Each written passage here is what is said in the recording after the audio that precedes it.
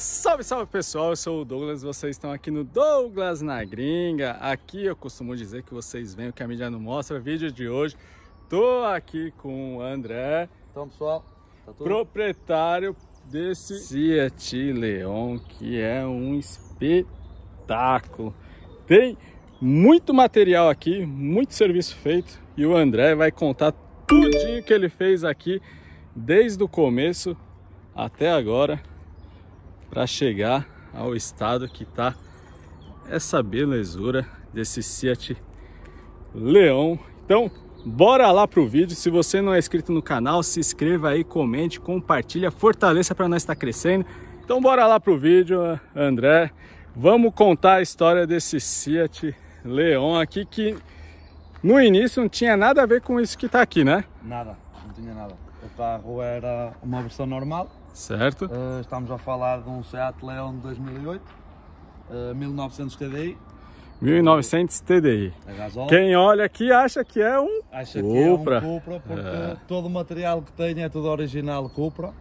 Uh, Para-choques, óticas, uh, para-choques trás, interior, uh, volante, manete, é tudo original. tudo. Então, vam- vamos começar aqui pela frente. Você aqui, quando você pegou esse carro, ele era outra versão, então era o TDI.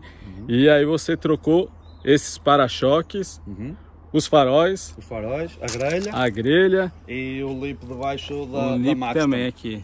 Exatamente, Foi feito tudo, Tudo. tudo, tudo, tudo novo. tudo novo. Depois, ou junto, né? Foi, foi colocado também os para-choques traseiros. exatamente. Bom, vamos lá.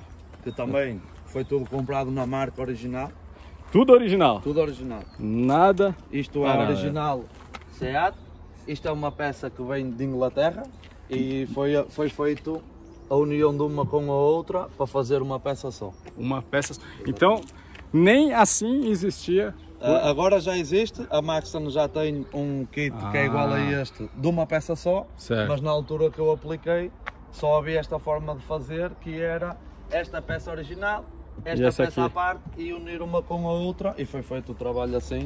E olha como ficou coisa linda, linda. Cara da maldade, né, Fê? Saidinha dupla. Motor, você mexeu alguma coisa? O motor eh, tentei manter o mais original possível para me manter fiável. Certo. Isto é um carro É, pá. andar eh, nos inventos. Sim, sim. Eh, mas pronto, quando, quando o turbo se estragou, fiz um stepzinho no turbo, embreagem. Só uma melhoradinha de, de leve. É. Depois da parte então isso aqui também você colocou esse É, embaladeiras aqui Isto também coloquei. Em Portugal era muito difícil arranjar e então tenho um colega meu em Espanha que me arranjou e enviou para cá. Sim.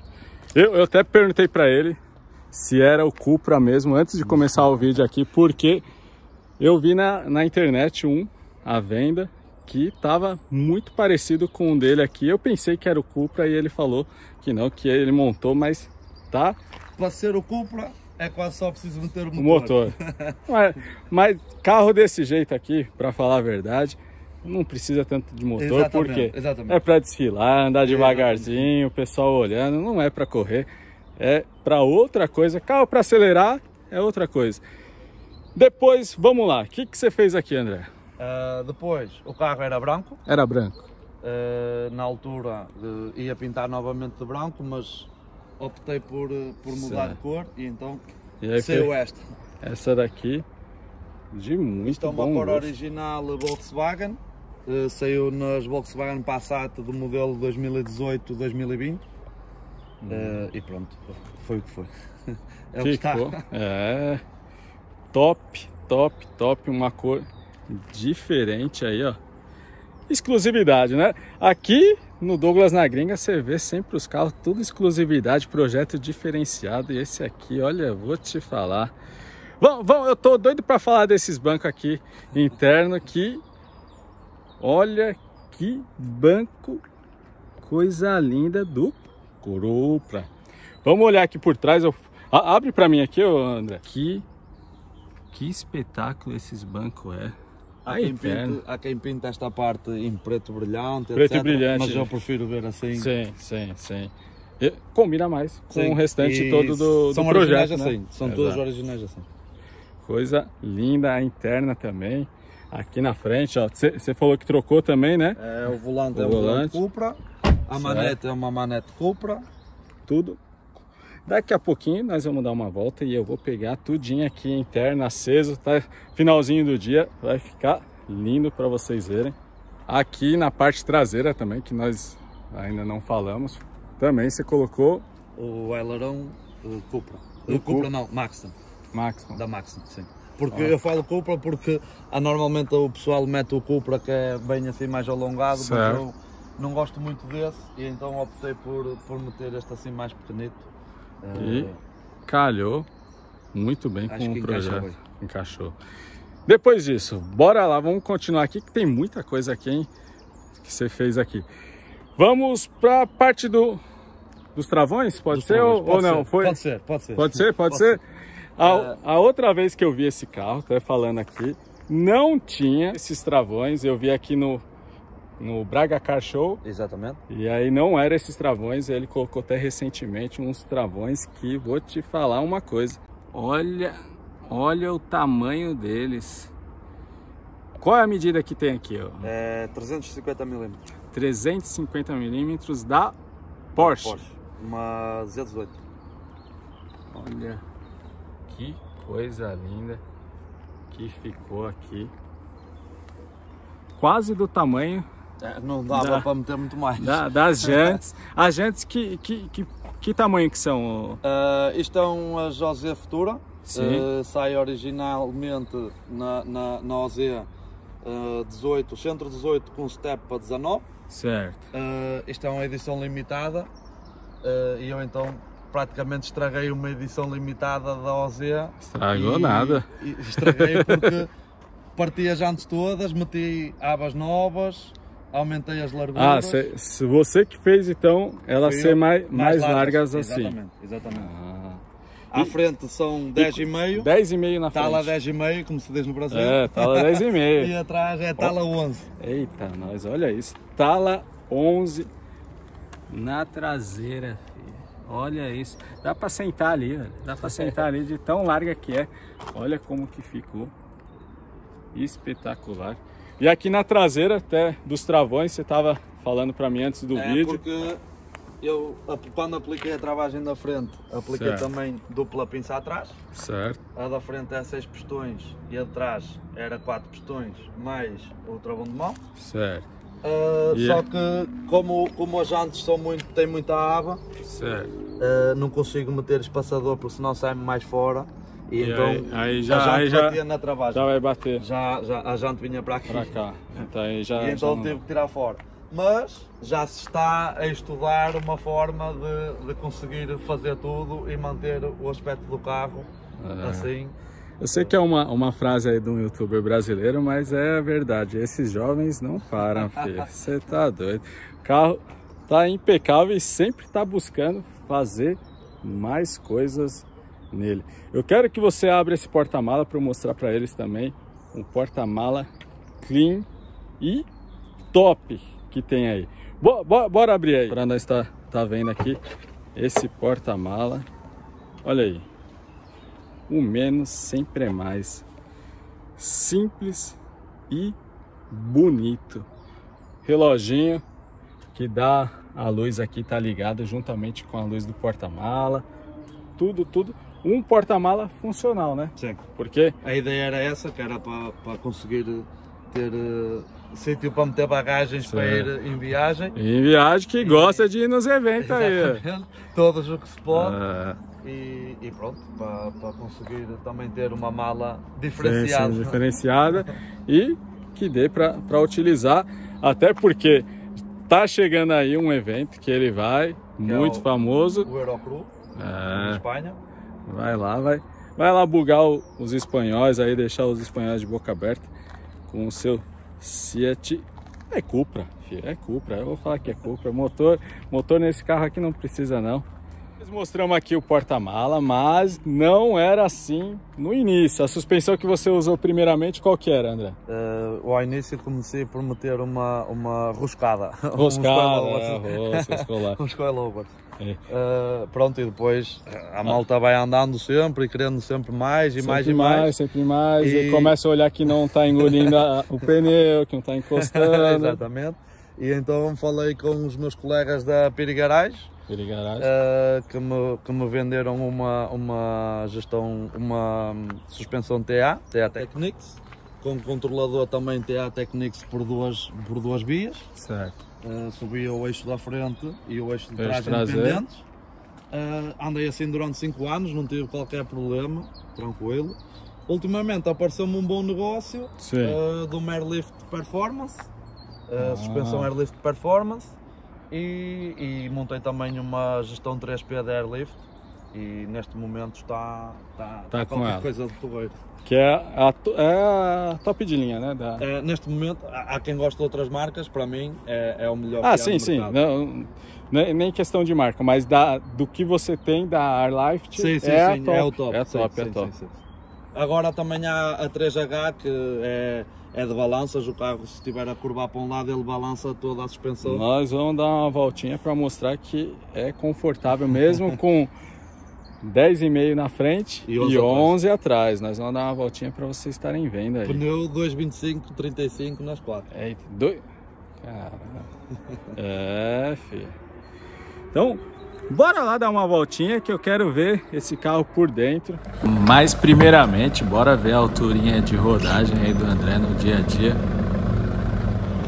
E ver essa suspensão trabalhando aí, ó. Uma, uma rua de asfalto que não tá muito legal não. Aí o piso, como se diz aqui, tá muito boa ela trabalhando. Não pega o pneu aí no paralama, ó.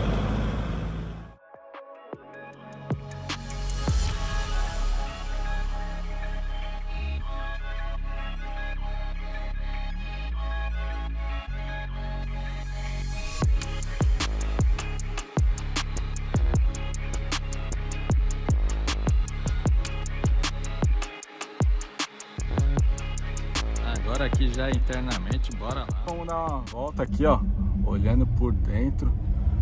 Olha que painel top. Olha os detalhes aí. Coisa linda. Esse painel que não era assim, né, André? Não, isto, o rádio não tinha nada a ver com isto. Isto é um rádio réplica do original. Certo. Uh, isto aqui é o controlador da suspensão, o Airlift 3P. Ah, ah sim, sim, que está uh, tá marcando ali, né? A altura que está, tudo. Sim, sim, está tá tudo. Um, este painel aqui era todo cinzento e eu pintei, tirei tudo fora, mandei pintar em preto brilho. Uh, tenho a manete de velocidades Cupra, que diz Cupra. Sim. Não se consegue ver muito sim, bem, sim. mas diz ali Cupra. Uh, o volante é muito idêntico ao original que trazia o carro, uh, mas já vem com, estes, com estas costuras em vermelho, etc. E é. na frente este trás. Era que cor que era? Era cinzento como era aqui o, o painel. E aí você, estufou e de, eu de estufei tudo de, de preto. Uh, pronto, e depois ia, ia, ia estufar o interior todo preto. Uh, opa, mas gosto de ver esta cor quando, quando olho para o carro, vejo sim. a cor de fora com a cor de dentro sim, e sim, optei por manter, por manter o, o teto teto em, em bege. Uh, pronto, por isso mesmo é que mandei estufar eh, tudo por baixo em preto, fiz por baixo preto e por cima, por cima bege, fica só com duas cores no interior e, e acho que está, está porreiro. Tá bem porreiro, bem porreiro, como vocês dizem aqui, porreiro, tá, tá, tá top, meu amigo, lindo, lindo, lindo, eu vou te falar, tô andando aqui, gosto de ir no banco de trás para mostrar que atrás é na onde o carro sente mais quando não tem conforto. Parece carro original, não parece que está andando com o Tala 11 atrás, 10 e meia na frente, suspensão, ar, nada, nada, nada, nada. Tá zero macio de andar. É... Sim, é macio porque a suspensão tem uh, regulação em dureza também. Tem, tem, tem, tem isso aí, né? Sim, a Airlift 3P tem a regulação em dureza e consegues regular a dureza da suspensão, se queres mais mole, mais dura. Ah. E, e pronto, está tá a meio. Também não quero muito mole, senão sim, ela, sim, sim, ela bate, bate, bate, bate no, nos guarda-lamas em qualquer coisa e assim, está a meio. Muito, muito, muito gostoso mesmo de andar. É, filho, eu vou falar pra você, eu ando nos carros assim, eu fico imaginando quando o meu estiver pronto aí, isso aqui pode acreditar que é motivação para muitas pessoas aí, muitos jovens que amam carro, que querem ter um carro assim, ver um carro igual o seu aqui, ó, nos mínimos detalhes feito, é motivação para muitos. Pode, isto, pode é, isto, é, isto, é, o meu carro há 12 anos.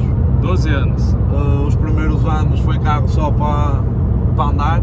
Sim. Depois comecei a ganhar gosto e pronto, está o que é hoje. É, como se costuma dizer, é um projeto já com muitos anos e foi sempre feito com a ajuda de amigos, em casa. Pá, é. Tem material bom, mas também tem, tem, olhei sempre a custos, a não gastar muito e fazer as coisas Sim. conforme estão e, e, a dar destaque a casas ou a amigos, ou casas de conhecidos. E opa, acho que assim as coisas ficam. É isso que. É mais porreiro. É, é, com certeza, com certeza andando aqui atrás é, é carro original, cara. Vou, vou, te falar, muito gostoso de andar. Pode pegar a estrada à vontade aí, colocar a família aqui dentro, pode andar tranquilamente que ninguém vai passar mal não. Esta suspensão é diferente da outra. Esta é, é, é a melhor. Top, top, top. Você falou que o motor é 1.9 TDI? 1.9 TDI, originalmente é de 105 cavalos. Sim. Uh, opa, comprei passado dois ou três anos fiz um, uma rep, não sei, só. Sim, sim, uma reprogramação. Uh, foi para 150, quase 160. Mas depois disso também já fiz turbo, já fiz embreagem, já fiz uh, umas coisitas é, porque com, foi, com o tempo foi a necessidade sim, sim, de, sim. o turbo começou a passar óleo, então tirei fora, mandei hibridar, aumentei um passo acima e voltei a aplicar. A embreagem começou a patinar, mandei reforçar e foi fazendo assim, foi porque o motor eu tento manter o mais original possível, sim, porque, sim. para sentir eh, fiabilidade no, no, carro, porque opa, isto é um carro, anda todos os dias se tiver que andar, para ir para o trabalho, para ir às compras, para ir a qualquer lado. Uh, e pronto, para ir aos eventos, não é? Cá. São, agora, agora em abril vamos fazer. Uh... Carro só na garagem não tem história para contar. Tem. Para mim não, história para contar. Não é bem assim. Eu, claro, eu tô montando o meu e eu quero andar muito, muito, muito com ele. Claro que é complicado, tu pintas o carro, tens um agente ao detalhe, tu, ah, sim, sim. E, e, chegas ao carro, tens um, um, uma marca na porta, ou tens um agente que, que alguém te deu um toque e indicou uma sim. aba. Opa, é complicado mas um carro na garagem não, não, até porque eu já comprei carros para andar no dia a dia e o carro dia a dia ficou na ficou garagem, na garagem e até que saía para passear e para ir trabalhar show. e para ir a todo lado. Show, show. Então é isso aí, demos uma volta aqui, vocês viram como é macio, macio, macio de andar, mesmo com 10,5 na frente, 11 atrás, anda, anda macio o carro do André aqui. Quero agradecer o André pela oportunidade aí de estar gravando o carro dele. Obrigado eu por teres vindo cá e fazer o esforço. Não, fez... Tava doidinho para gravar esse carro aqui. Todo evento que eu fui, eu gravei ele, mostrei, porque eu acho ele muito top. Não é porque ele está aqui do meu lado, não. Mas o carro dele tem muito bom gosto, muito material. Tá de parabéns, André. Fiz aí, muito bom gosto. Deus continue abençoando aí, que você faça outros projetos aí para nós ficar apreciando aí o bom gosto aí que, que você tem para fazer com, com carro. Então é isso aí, pessoal. Vamos terminando mais um vídeo aqui, eu e o André. Fiat Leon Cupra, tá? É Cupra. Então, forte abraço a todos vocês aí. Deixe seu like, comente, compartilha e até um próximo vídeo. Valeu aí, André. Obrigado, Valeu, pessoal. obrigado.